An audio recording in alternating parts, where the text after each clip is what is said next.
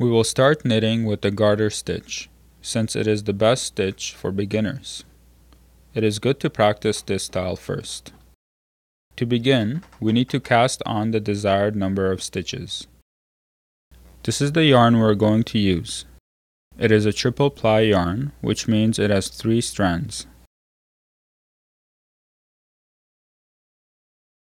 The manufacturer recommended needle size for this yarn is 4.5 millimeters, or US 7.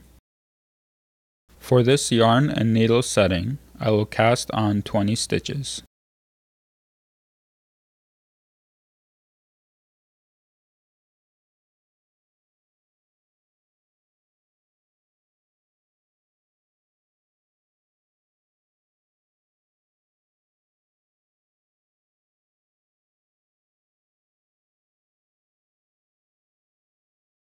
After casting on the desired number of stitches, we secure the loose end by tying a knot. This prevents the first stitch from unraveling.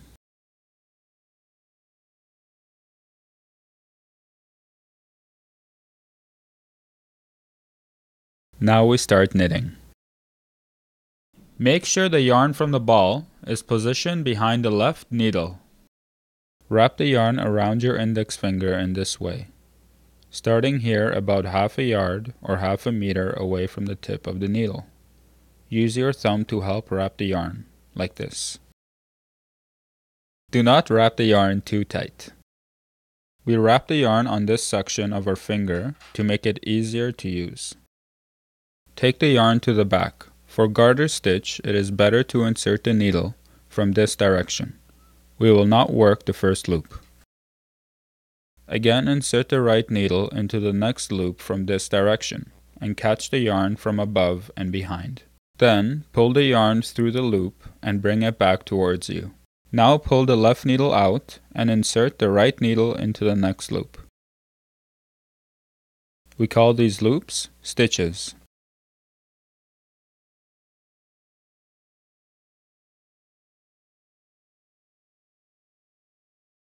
As we knit, we gradually release the yarn when needed.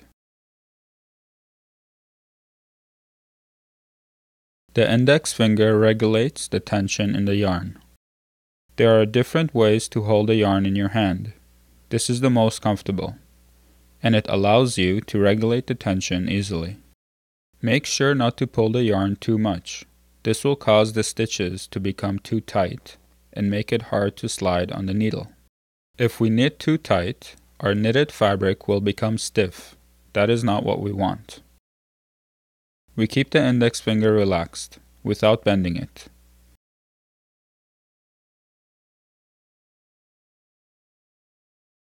There are no extra movements and pressures on the hand when knitting this way. Knitting in this way is more comfortable and enjoyable, and will allow you to knit for a longer time. Repeat this all the way to the end.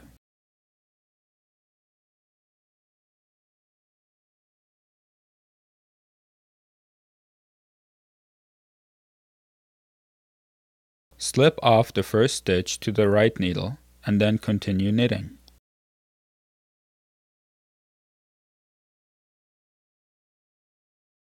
As you see, we can use our left hand's middle finger to help catch the yarn.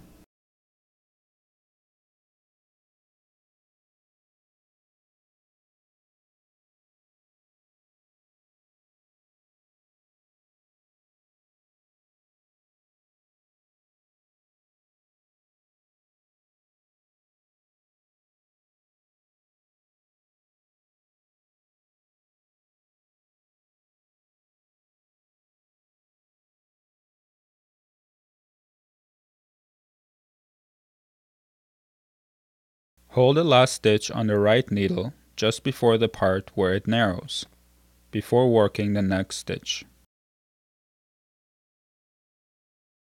As we are knitting, we gradually push the stitches back on the right needle to make room for the new ones.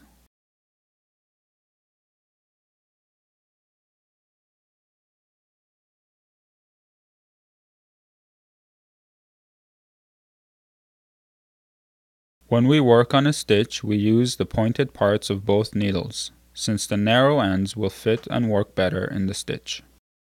By using the narrow parts, we can work easily on each stitch. Otherwise, the stitches will be too tight for the needles and make our work difficult. Keep the rest of the stitches behind this point, where the needle is wider, and gather them so that they are ready to be worked on. This way, we can bring the working stitches to the narrow section of the needle easily. We do not want to bunch them too closely either, otherwise the stitches will slip out of the left needle. On the right needle, we gradually slide the stitches back as we knit. However, we keep the last knitted stitch here at the edge before the needle narrows. This will regulate and even out the tension as well.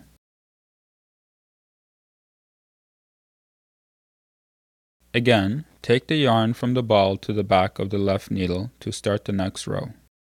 Pass the first stitch into the right needle from this direction without knitting it like this. We always do this for the first stitch to get a nice edge. For the second stitch, enter from this direction again. We make sure not to split the yarn and work through it. We also do not want to catch a part of the lower row when we are knitting.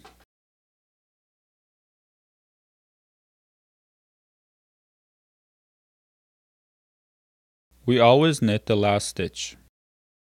Now we turn our work and begin the next row with the free needle in our right hand. Again pass the first stitch to the right needle from this direction, without knitting it. We always do this for the first stitch to get a nice edge. Continue knitting in this way.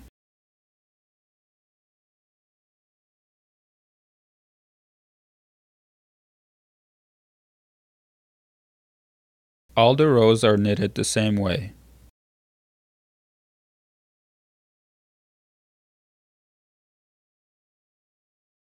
To knit garter stitch, we always keep the yarn behind the needle and insert the right needle in this direction.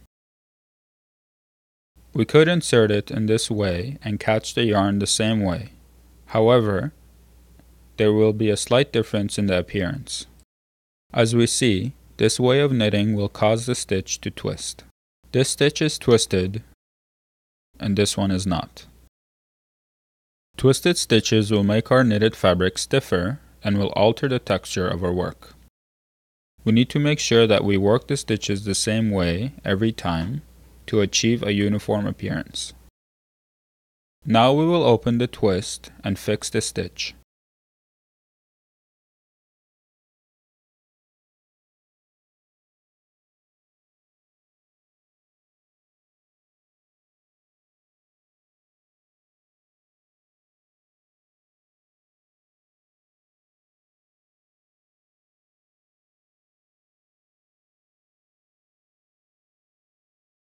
Sometimes we may stop in the middle of a row. To find out which needle goes in which hand, we pull the yarn coming from the ball. The last stitch is knitted always at the end of the yarn. Whichever needle that stitch is on will go in our right hand. It is best to always finish the row before stopping.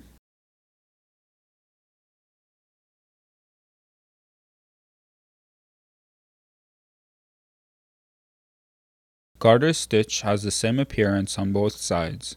We can use it for scarves and at the edge of knitted garments.